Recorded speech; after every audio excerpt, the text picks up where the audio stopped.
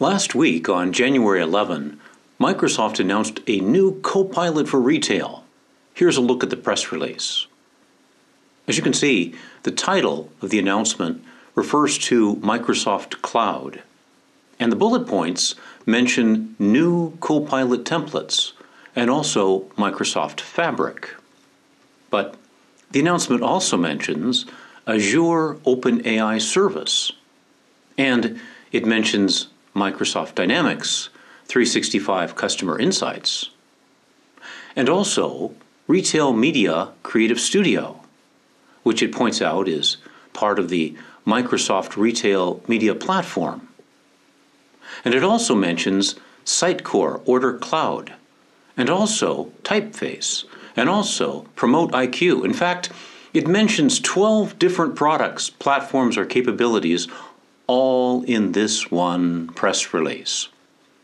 That seemed to me like a lot of information to digest, even for people who are pretty familiar with some parts of the Microsoft tech stack. So, for convenience, here's a breakdown of everything that was covered, what each one is, and how it all fits together.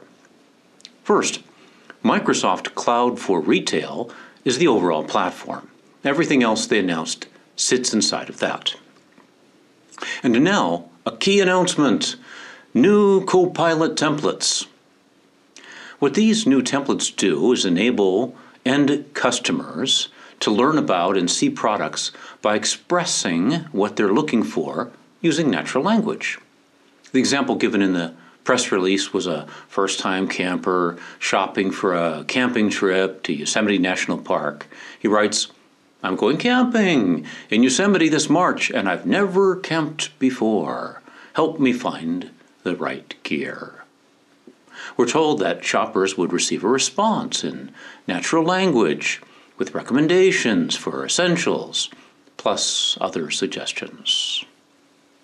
We're also told that the Copilot template is powered by GPT 4 through Azure OpenAI Service. And what is that? Well, first of all, of course, OpenAI is the well known company led by Sam Altman, known for its generative models like GPT 4 and DALL-E 3. OpenAI also has a chatbot. And building on that, the Azure OpenAI service allows developers to access pre built libraries and integrate OpenAI models into their applications using REST API calls. So, that's part one of the announcement, and here's what that looks like. Also, the announcement mentions Microsoft Fabric. And what is that? That's a data and analytics platform. It covers the full data lifecycle, ETL, data integration, data science tools, and BI, including customer insight and various retail data solutions. There are nine tools under the Fabric umbrella. Some of the better known ones are Databricks, Synapse Analytics, and Power BI. There's also a data and analytics co-pilot inside that toolset, which was already there prior to last week's announcement. What the announcement mentions as new are some enhancements, including new analytics templates for retailers. It also mentions a new connector to Sitecore Order Cloud. And what is that? Sitecore Order Cloud is a special kind of e commerce platform that's distinguished by being headless. Headless means that the front end customer experience is separate from the back end commerce engine, which offers more flexibility. So that's part two of the announcement, and here's what that looks like.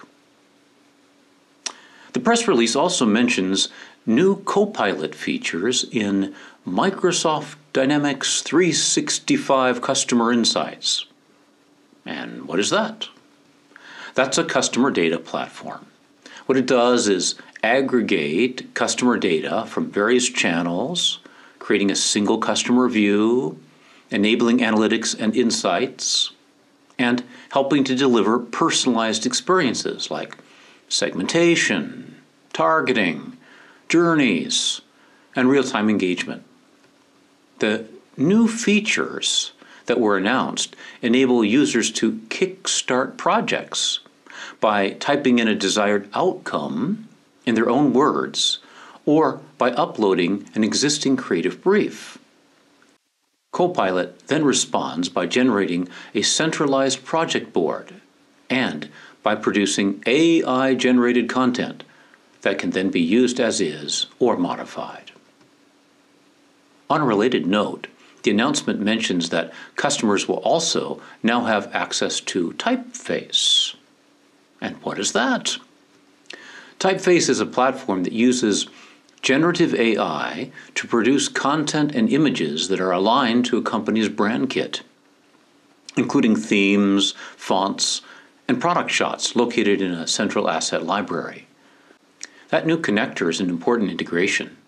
It could help streamline the content creation process for marketers who are using that platform. So, that's part three of the announcement, and here's what that looks like.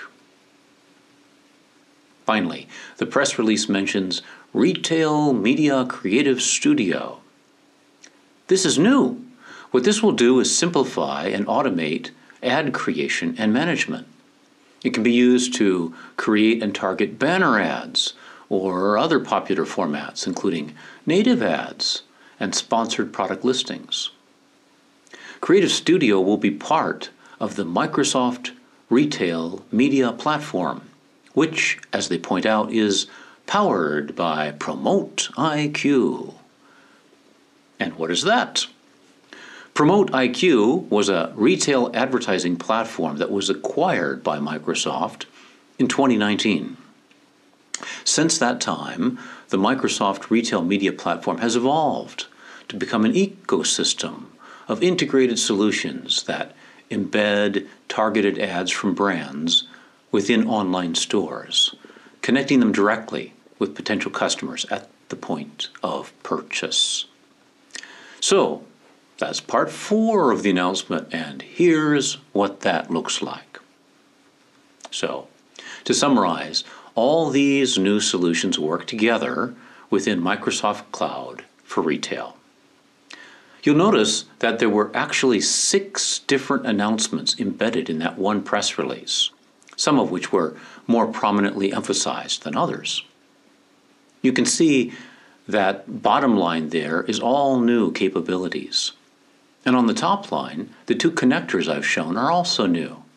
The connector from Microsoft Fabric to Sitecore Order Cloud, and the connector from Microsoft Dynamics 365 Customer Insights to Typeface. Okay, I hope you found that helpful. Let me know if there's anything else you'd like me to cover in regard to this announcement, and I'll be happy to do that. Thanks, and see you next time.